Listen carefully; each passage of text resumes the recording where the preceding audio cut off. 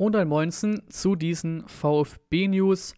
Wie auch schon im letzten Podcast gesagt, entweder Teil 1 oder Teil 2, je nachdem, was ihr hier zuerst hört.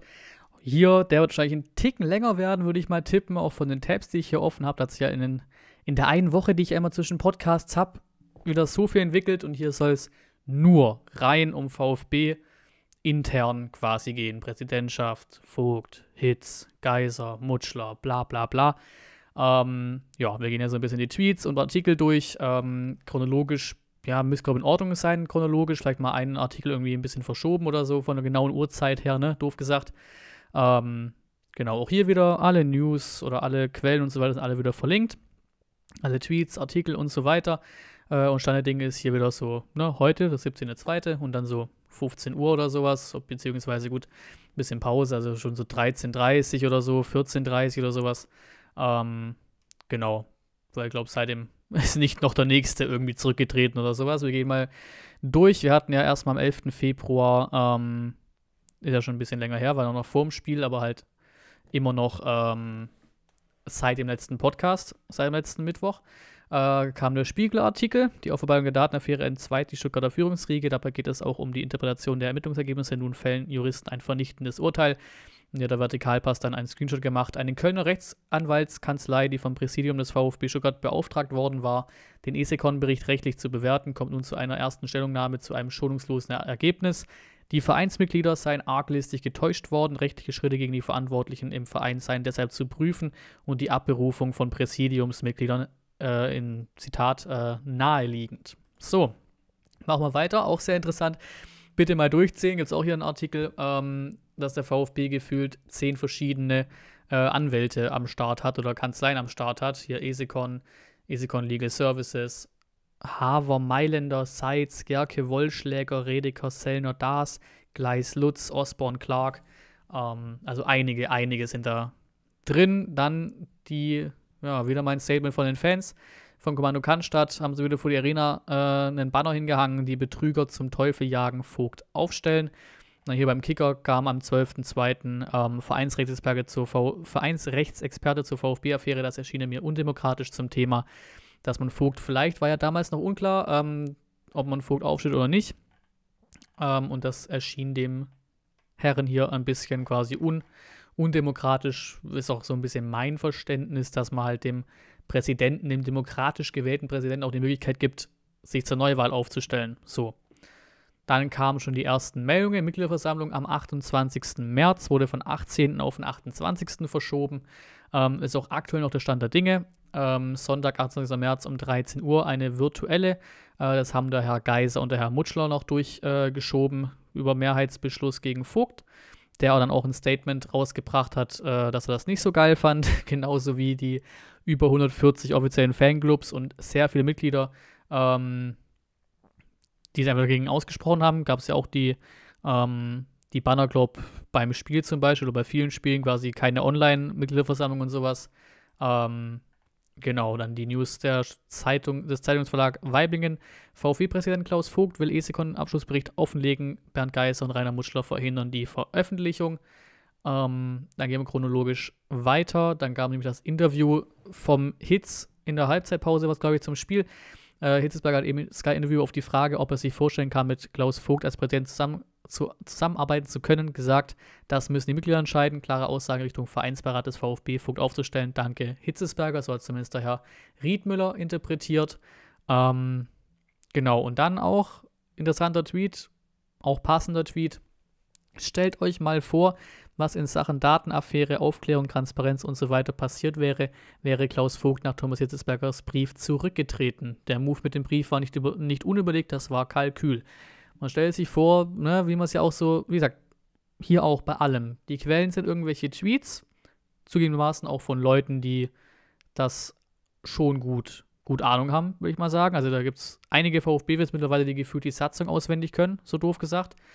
Dazu halt auch die ganzen Artikel, ne, sei es Stuttgarter Nachrichten, sei es Weiblinger äh, Zeitung, sei es ähm, der Spiegel, sei es der Kicker auch die Bild, auch wenn die so ein bisschen negativer zum VfB war, aber auch die Bild hat schon alles berichtet. Also an den Sachen, die hier auch viel von, von Twitter-Usern oder halt VfB-Fans, Mitgliedern äh, rausgeballert wurden oder auch dessen Meinung ich quasi vertrete, ähm, ist natürlich sehr beeinflusst dadurch, aber wenn es halt tausende Leute schreiben, wird auch nicht so wenig daran sein. Ne? Und deswegen, ähm, man stelle sich vor, Klaus Vogt wäre weg. Vielleicht, klar, weil es ist ja mittlerweile auch wirklich das Land quasi mit drin, ne? Staatsanwaltschaft und so weiter, Datenschutzbeauftragter.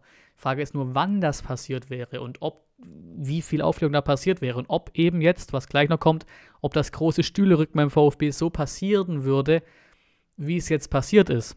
So, das meine ich auch zu bezweifeln, dass wenn Vogt nicht dran geblieben wäre und dort geblieben wäre, dass vielleicht, ja, schon was passiert wäre, vielleicht auch ein paar Konsequenzen, aber vielleicht nicht unbedingt so krass radikal, wie es jetzt gerade zugeht. Wir haben ja gefühlt, werden in den nächsten News noch kommen, wir haben ja gefühlt keinen Verein mehr. So ist ja alles leer.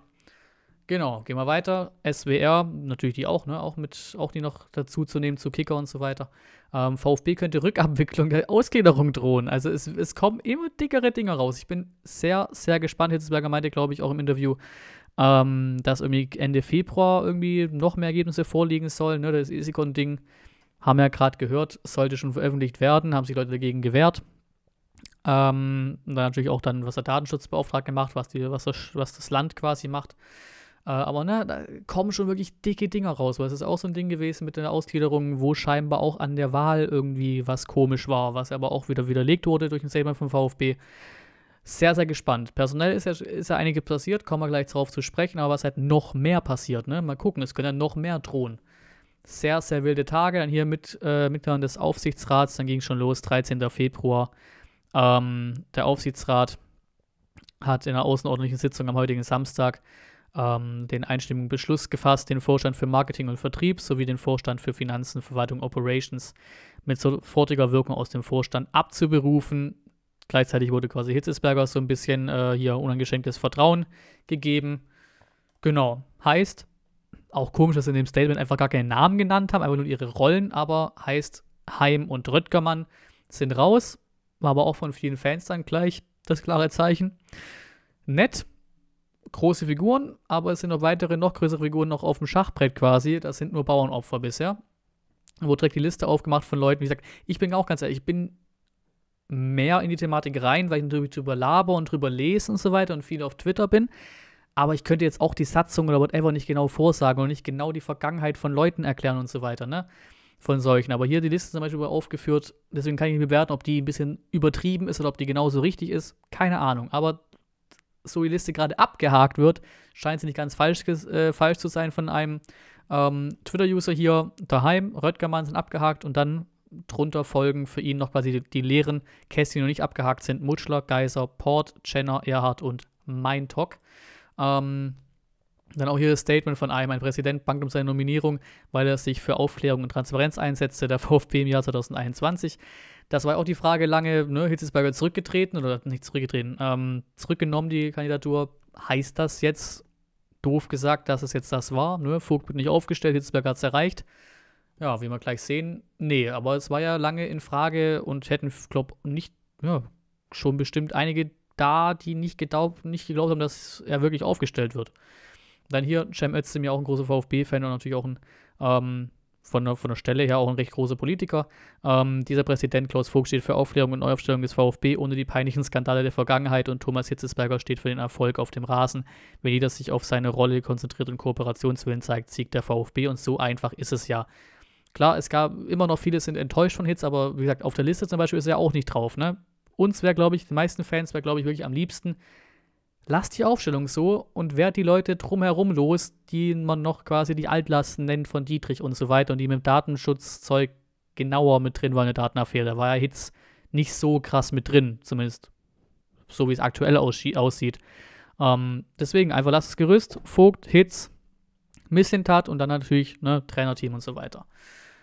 Dann, Heim ist Geschäftsführer, das ist eben die andere Frage dann. Heim Geschäftsführer der VfB Reha Welt GmbH, der Stadion Neckarpark GmbH und Co. KG, der VfB Stuttgart Arena Betriebs GmbH, der VfB Stuttgart Marketing GmbH sowie der VfB Stuttgart Beteiligungs GmbH.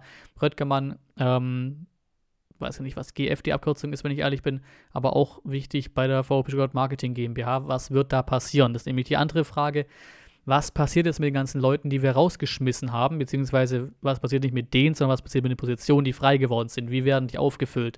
Das ist auch ein ganz, ganz dickes, wichtiges Ding. Dann kam es nämlich die Meldung, personelle Veränderung im Vereinsbeirat am 14., wo er angekündigt wurde, am Sonntag sitzt der Vereinsbeirat zusammen und entscheidet über Präsidentschaftskandidaten. Ähm, äh, Claudia Meintok und James, ja, wahrscheinlich schon James Bührer, haben äh, ja, ihr Amt jeweils mit sofortiger Wirkung niedergelegt. Ähm, Wolf Dietrich Erhard auch. Also hier ähm, sein Mandat zunächst ruhen lassen wird und damit auch nicht länger Vorsitzender des Vereinsbeirats ist. Ähm, ja, der wird quasi, der bleibt irgendwie quasi noch so ein bisschen, bis der, solange der VfB halt quasi Geschäftsfähigkeit, äh, geschäftsfähig ist und diese Geschäftsfähigkeit gesichert ist und dann ähm, legt er sein Mandat nieder, so wie ich das verstanden habe.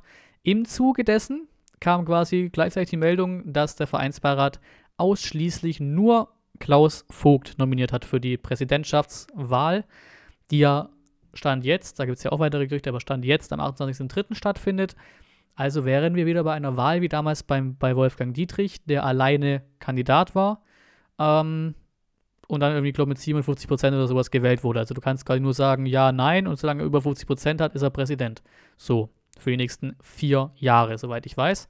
Ähm, was auch schon ein bisschen fragwürdig ist, da ist noch ein C, ne, da kommen wir später noch zu ähm, als Kandidat, aber sonst hat der Vereinsbeirat ja auch bei vielen angeklopft und viele haben gesagt, nö, einfach keinen Bock drauf. Kann man ihr auch ne, verstehen bei dem Chaotenclub, den wir gerade präsentieren, was die Leitung angeht und was jetzt ja auch klar wieder rauskommt bei so vielen Leuten, die sie jetzt, die einfach jetzt weg sind ähm, und so viel Chaos. Ähm, aber generell muss man sagen, klar, ich, ich bin schon mehr Befürworter von dem, was gerade passiert, als ich es nicht bin, ne? mehr positiv als negativ dem zugeneigt.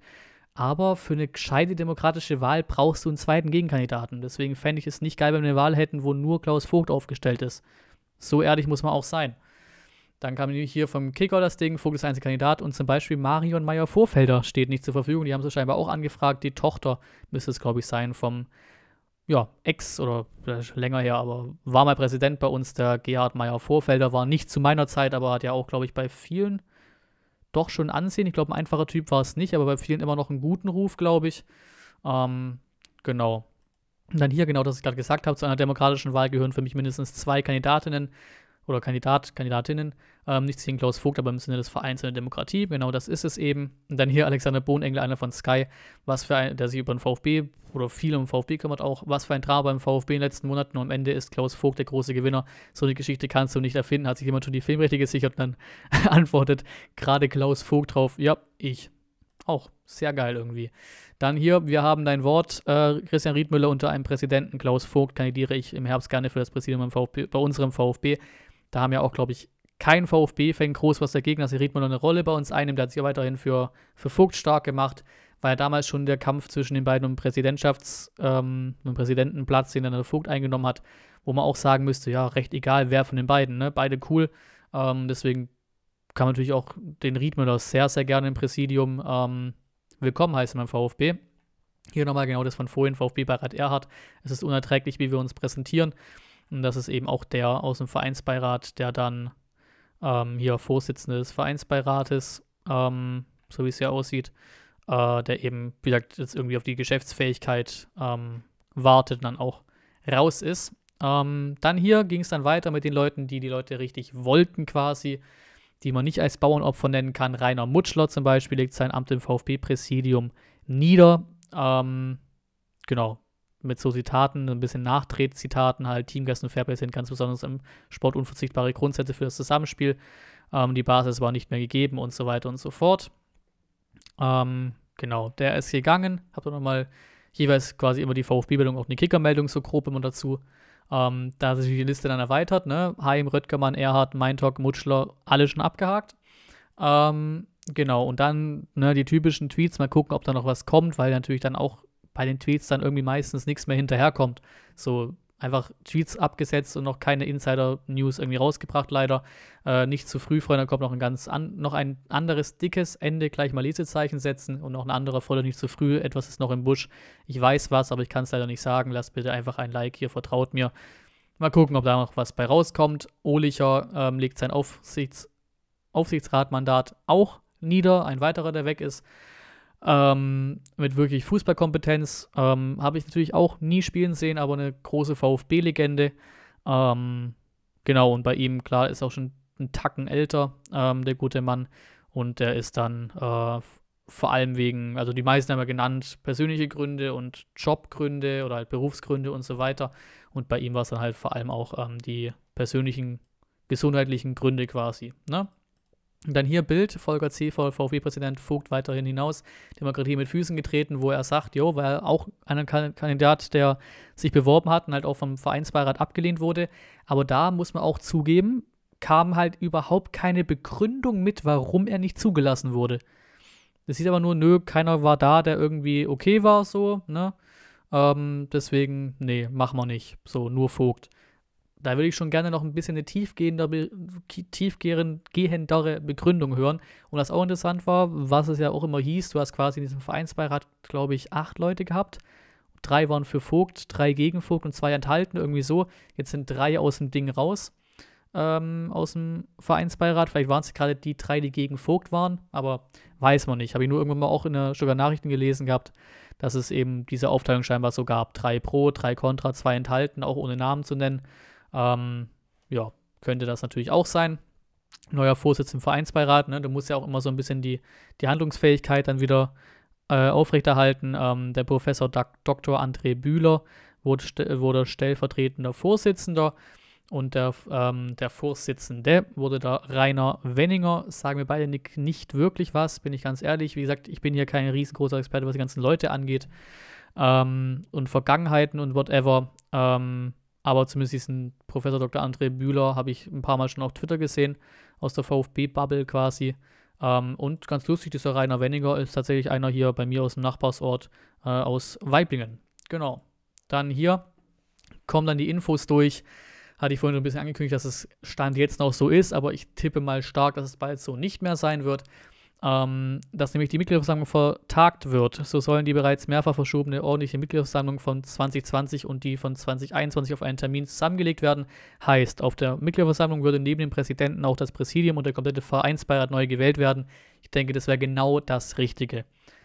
Scheinbar soll es ja genau so passieren, ne? dass ähm, wir das in Richtung Juni, Juli verlegen, die ähm, MV.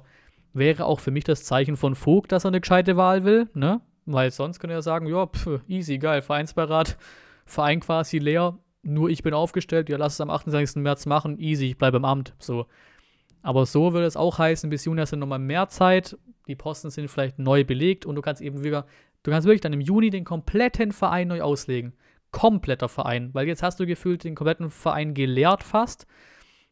Gucken, ob noch irgendwas nachkommt, aber die großen Namen, die mir so im Kopf sind, sind quasi weg. Ähm, oder haben halt ihre, ne, ihre Ämter ähm, niedergelegt und so weiter. Ähm, und dann können sie im Juni wirklich den Verein komplett, wie es hier auch steht, komplett neu auslegen. Präsident, hast du hoffentlich auch noch ein paar mehr Kandidaten, beziehungsweise am Ende des Tages dann zwei Kandidaten. Ähm, Präsidium und Vereinsbeirat, alles, zack, kompletter Verein gefühlt neu aufstellen. Das fände ich die optimale Option und natürlich dann ist halt auch der Fakt, dass es dann vermutlich keine virtuelle MV wäre. Das wäre auch ein Traum, ne? Keine virtuelle, mal gucken, vielleicht geht da ein bisschen was mit Präsenz, Juni, Juli, wer weiß. Ähm, aber wäre alles besser, glaube ich, als es jetzt Ende März auf Krampf reinzudrücken. Und vor allem die Leute, die das auf Krampf reindrücken wollten, sind jetzt eh nicht mehr da. Weil, nächste, nächste Meldung hier, ähm, Dr. Bernd Geiser legt Mandate nieder. Heißt, gerade aktuell ist, wenn ich das vom VfB alles so richtig verstehe, Vogt der Einzige da oben quasi in diesem Dreierding. Es waren immer Geiser und Mutschler gegen Vogt. So wirkt es, im, wirkt es in den letzten Wochen oder halt auch andersrum. Vogt gegen die beide, wie auch immer. Ähm, heißt, Vogt ist alleine, quasi da komplett alleine. Heißt eigentlich auch dann für mich, dass da oben noch irgendwer nachrücken müsste, irgendwann mal, damit man die komplette ja, Handlungsfähigkeit oder was heißt Handlungsfähigkeit, einfach den normalen Verein wieder hat. Aber mal gucken, was da so kommt. Du musst ja auf jeden Fall die Posten wieder irgendwie auffüllen. Wie Zeit dann das passieren muss, weiß ich nicht, aber wird irgendwann geschehen. Und da ist auch die große Frage. Deswegen, ich sehe das gerade, wie gesagt, mehr positiv als negativ, was im Verein passiert. Immer mit der Frage, stimmt das alles 100%, was hier abging und was Vogt da quasi nachgestrebt hat, was er so wirkt, ne? Wird er immer wieder bestätigt durch Artikel und so weiter und durch die Leute, die jetzt auch gehen ähm, wahrscheinlich wissen, ja gut, scheiße, keine Chance mehr, dann gehe ich halt, ähm, bevor noch mehr an, ans Licht kommt, doof gesagt. Dann halt die Frage, wie besetzt du neue? Das ist dann das große Ding. Wie besetzt du neu? Zum Beispiel der Geister hier war, zum, war scheinbar auch noch eine Marionette damals unterm Dietrich. So klingt es ja immer raus. Das heißt, wirkt ja schon mal nicht verkehrt. Diese benannten Altlasten sind so langsam weg. Ähm, wahrscheinlich wollen Fans noch ein paar mehr Leute haben, mit, mit Port noch weg und so weiter. Und dann, und dann schaffst du dann auch noch Daimler aus dem Verein raus und dann hast du gefühlt, ja, dann baust das ganze Ding mit quasi doof gesagt keinem Hauptinvestor mehr und sowas baust du da auch noch ein Loch rein, wenn du Port auch noch weghaben willst, soweit ich das verstehe. Deswegen, mal gucken, wie es da in Zukunft weitergeht. Damit haben wir aber so ziemlich alles aufgeräumt, was in dieser Woche passiert ist. Sind ja extrem viele Leute jetzt weg. Mal gucken, wann die ganzen Leute neu nachziehen und auf jeden Fall auch ganz gut, dass du diese MV, ich gehe mal stark davon aus, dass wir die wirklich Juni, Juli machen, weil die beiden, die sie im, im März noch machen wollten, sind ja jetzt weg. Damit kann man es ja locker entscheiden. Aus Vogt sich das ja alleine. Ähm, und können abschließen mit diesem schönen Tweet hier. Der komplette AG-Vorstand des VfB Stuttgart und das komplette EV-Präsidium des VfB Stuttgart von links nach rechts, einfach nur ein Bild oben, wie Hitzesberger und Vogt äh, quasi mit der Faust äh, sich eine Faust geben, quasi sich gegenseitig ab, abklatschen mit der Faust. Ähm, ja, der Verein löst sich komplett auf. Ne? Stühle rücken des Todes beim VfB.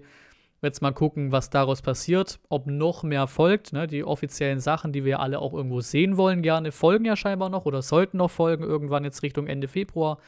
Auch die offiziellen Geschichten, ne? auch in Sachen Ausgliederung und in Sachen äh, ja, Strafe, die wir zahlen müssen und so weiter. Das kommt ja alles noch. Aber das haben wir jetzt, glaube ich, alles mal aufgearbeitet, was seit der Woche passiert ist. Gucken weiterhin sehr interessiert, was beim VfB passiert. Jeder kann sich so selber ein Bild machen, gibt immer zwei Seiten der Medaille. Ähm, wirklich gerne vielseitig ein Bild davon machen. Ja, und dann gebt mir gerne eure Meinung in den Kommentaren wieder, was ihr so sagt, gerne zu einzelnen Aktionen, die hier passiert sind oder zu Personen oder wie auch immer. Nur was sich verbietet, ist irgendwie ein dummes Nachtreten gegen irgendwelche anderen Leute, die jetzt wieder raus sind. Nur was ihr so generell davon haltet, ähm, wie sich der VfB gerade bewegt in Sachen, ja, Verein lehren quasi. Mal gucken, was da passiert. Und am Ende des Tages, mal gucken. Es wirkt ja so, als würde Hits bleiben, ne? auch mit der Verlängerung von Materazzi, die wohl kommt. Wer weiß, ne? Es ist ja nichts auszuschließen. Es ist aber eine ganz wilde Theorie. Vielleicht war das ja auch, keine Ahnung, vielleicht war es ja doch nicht der Plan von Hits, auf Seite der anderen zu sein, sondern auf Seite von Vogt. Aber wie gesagt, das wäre eine ganz wilde Theorie, aber er ist am Ende auch mit Vogt, sind es die, die Last Man Standing quasi mittlerweile. Und wenn er jetzt dann bleibt und sagt, jo, ich bin zufrieden, keine Ahnung. Dann wäre es ja ein bisschen komisch, ne? Weil es hieß ja immer, dass von hinten jemand kommt, der Hits nach vorne schiebt, damit sie Vogt rauskriegen, haben sie nicht geschafft. Am Ende bleiben Hits und Vogt da und der ganze Rest ist weg. So. Vielleicht, vielleicht, aber es ist alles nur ganz, ganz wilde Theorien. Ähm, ganz genau reingucken können wir da eh nicht. Dann würde ich sagen, vielen Dank fürs Zuschauen. Gebt mir, wie gesagt, gerne eure Meinung äh, wieder in den Kommentaren und bis zum nächsten Mal.